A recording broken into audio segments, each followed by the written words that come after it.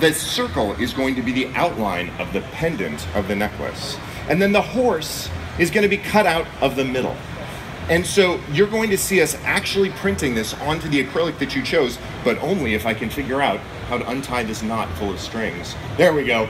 I got that. You hold on to that because we're going to need that later, okay, Brooke? Now, would you like to stand up here or would you like to sit over there while we talk about what we're doing? Sit down? Okay, great. We'll call you back in just a little bit. Thank you so much, Brooke. So you can see Shell's actually using Adobe Illustrator to create this design, but there are a lot of different tools and techniques that you can use to design for a laser. The most common is vector software. And if you have a laser at your local makerspace, this is probably what they'll recommend you use. It's the one tool that'll work across the board. The two most popular vector uh, packages for designing with the laser, actually three, are Inkscape, which is free software, CorelDRAW, and uh, Adobe Illustrator, which you see here today. In general, the color lets you decide what you want to do. So different colors can be assigned to do different things. Now there's two principal ways the laser works, cutting and engraving. In the cutting mode, it actually moves the head of the laser around, focusing a beam of laser light moving slowly at high power to go vaporize, usually eight one thousandths of an inch thick trail as it goes through, and cutting out the material. The other option is that it will engrave an image on your material. In this mode, the laser moves back and forth like a dot matrix printer. Anybody remember dot matrix? Yeah, dot matrix printer. So it actually goes back and forth, and it's called the raster mode. And the laser fires with a precision of milliseconds on and off, discoloring the surface of the laser, uh, of the material, allowing it to draw a bitmap image. By combining those, you can do all sorts of tremendous things. So, for example, if you look at this wallet, it prints in about 15 minutes. And to make it, you take a flat piece of material, you lay it down, and you have the laser cut the outline shape, cut tiny little circles that you can use to go lace it up when you're done, and then engrave whatever you want on the outside. So this is something that you can uh, print in about 15 minutes, and then takes about another 15 minutes, uh, maybe half an hour if you're doing it for the first time, maybe 45 minutes if you're me, to actually assemble it. But I have actually done this, so I can vouch that it can be done. This is an example of a pure engraving. Anybody have any idea what this is? Shout it out if you know. Anyone? Seaweed. This is actually nori for sushi. We had to we had to put it in an acrylic block so that it wouldn't get broken in transit. But you can actually engrave a shape into seaweed and then go use that to wrap your sushi and create something. So this is an engraving. Right now Shell is going to design something that's just going to be cut because it'll run a little faster while we're waiting. Engraves tend to take longer because the head has to move over every square inch of the material. Now, there's a lot of different materials you can use. We already talked about acrylic, we already talked about wood, uh, and we've talked about, uh, and, and we mentioned leather, but you can engrave on glass. You can't cut glass, but it gives you this wonderful frosted look that you can see, that you can put on it. Similarly, you can engrave MacBooks. Now, with a traditional laser, it's a little tricky to do this. Let me tell you how. You create the design, then you tell it to cut a rectangle that's the size of the MacBook. Then you very, very carefully place the MacBook precisely in the rectangle. And you focus, and with the traditional laser, you focus by moving the material up and down. The Glowforge has autofocus, so it'll actually just do that for you. But you focus the laser on the surface. And then with the traditional laser, you tell it to draw with a little red laser dot the outline of the thing, and you watch really carefully and make sure that it goes in exactly the right spot. Then you hold your breath, stomp your foot three times, hit the button, hope for the best, and if all works out well, you get something like this. Uh, Glowforge can actually recognize a MacBook, so when you put it in, it configures all the settings for you automatically, and you can pick a template or put your own drawing on top of it and just hit engrave.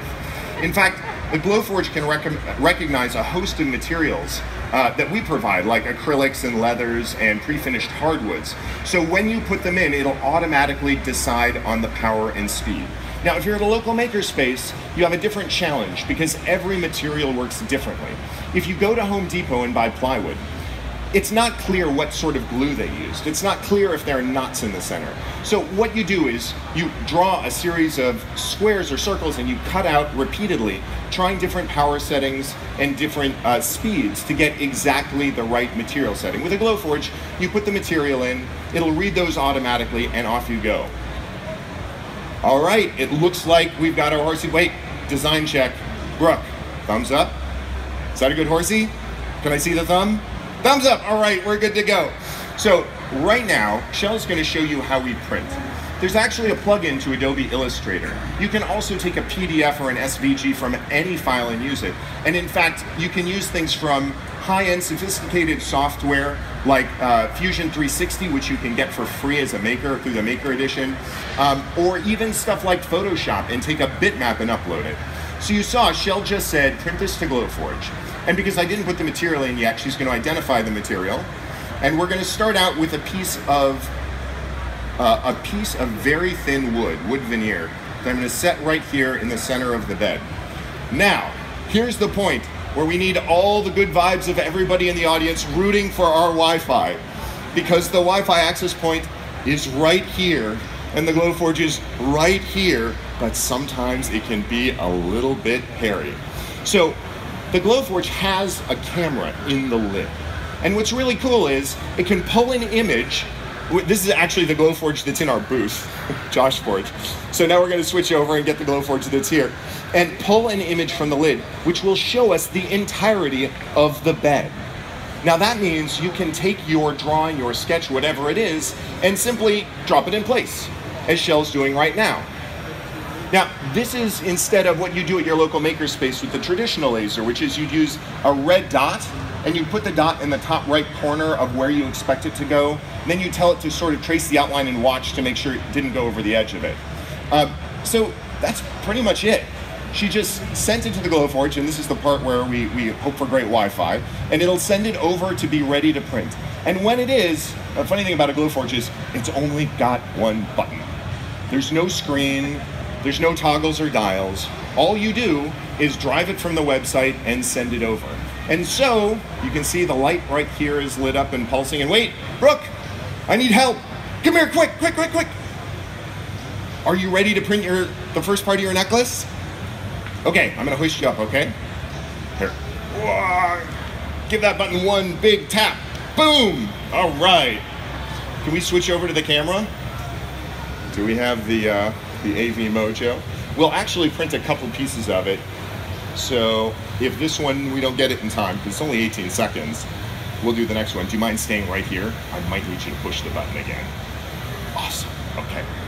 If you watch, oh, and that was it. It was so quick. Oh, there we go, so it was finished.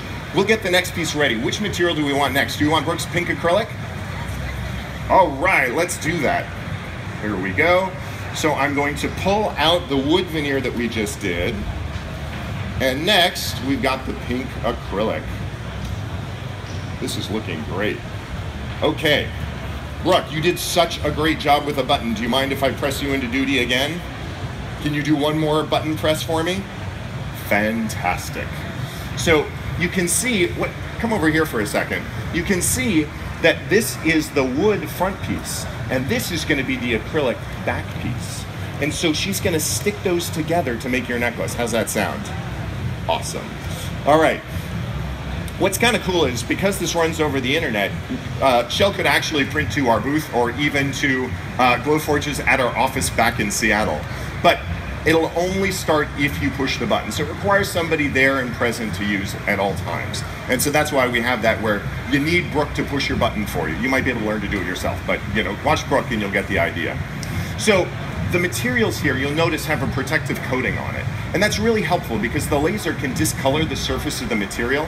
The materials we sell come with a protective coating. If you're doing this at a makerspace, I recommend using something like blue painter's tape that you put on top and then peel off when it's done so that you get the best surface finish. And uh, one thing to bear in mind, get a lot more material than you need because it takes a while to dial in the settings, and sometimes you get unpleasant surprises like knots in the middle of your plywood, so it doesn't cut all the way through. Materials like acrylic are pretty reliable, but natural woods, hardwoods and the like, especially plywoods, can be a little hit or miss. Oh, I see the button. Do you think you can reach over and give that another tap? All right. So if you look right here on the screen, you can see that black thing, which is the head, moving around and cutting the outline of your pendant for the necklace. The actual laser isn't that black thing. The actual laser is this giant glass tube that you can see right there. It's actually filled with carbon dioxide and a mixture of other gases. Have you ever heard of carbon dioxide? Could you make some carbon dioxide for me right now? Blow my hand. That's carbon dioxide. That's what comes out of your mouth. And so we take carbon dioxide, other gases, we put them in a long tube. Then we put high voltage electricity through it like a neon sign so it glows. An infrared light comes out the end. It's that infrared light that we focus down to cut and engrave. Shell's gonna, oh right, I forgot to actually get Shell the second part of the necklace. So she can assemble that for you. Now, that carbon dioxide lets off infrared gas, or infrared light, that we focus down, and that's how we, that's how we can cut and engrave the final product. So Shell's gonna assemble this right now. Are you ready with your necklace? You ready with, okay. She's gonna get that ready, and then we're gonna put it together, and we might, I, I don't wanna make any promises, we might even have enough time for a little something extra. Okay, we'll see if we have enough time for, uh, maybe we can do an engraving and people can see what engraving looks like. Does that sound good? Awesome. So you can see a few other things here. This is an example of something that was made with acrylic and hardwoods. oh, let's see. Uh, yes, uh, plywood, not hardwoods. So this planter, we didn't make the plants. We're not quite there yet technologically, but we're working on it. Was actually printed out of these two materials and just uses acrylic glue and Elmer's glue to hold it together. It's amazing what you can do with Elmer's glue. In fact, if you come over to our booth, you will see a dollhouse that is three feet tall that is made of nothing more than plywood, Elmer's glue, and house paint. And come on over, Brooke. We'll look at one over one more thing over here. Could you hold this up and show it to everybody? Okay, so this is a coaster that's actually made out of walnut. It's made out of abalone shell. And if you turn it around and show in the back, cork. And what's cool is you can actually engrave a place for the abalone in the walnut and engrave a place for the cork in the walnut so that everything slots together. So that's held together with super glue and a little bit of spray shellac on the outside. You can even see, do you know what this is? It's called the Space Needle. It's from where we're from in Seattle. So this Space Needle here was actually made out of here. I'll hoist it up because I know there's some folks in the back.